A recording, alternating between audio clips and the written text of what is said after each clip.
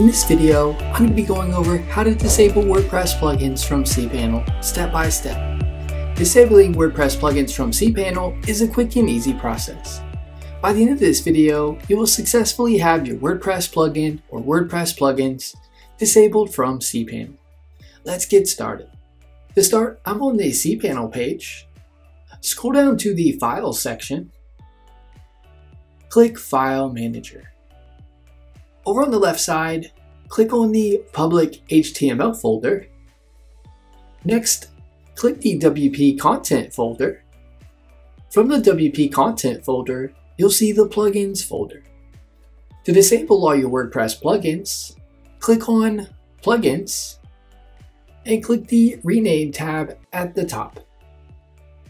Next, rename the Plugins folder to something else to whatever you'd like make sure the name is different. I'll change mine to plugins disabled. I'll click rename file. All the WordPress plugins on your site have now been disabled. If you want to disable a WordPress plugin individually or each WordPress plugin one by one, here's how to do this.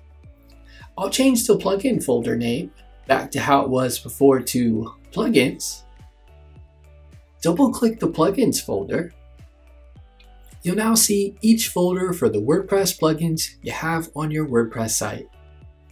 To disable a plugin, click on the plugin folder. Click Rename Found at the top.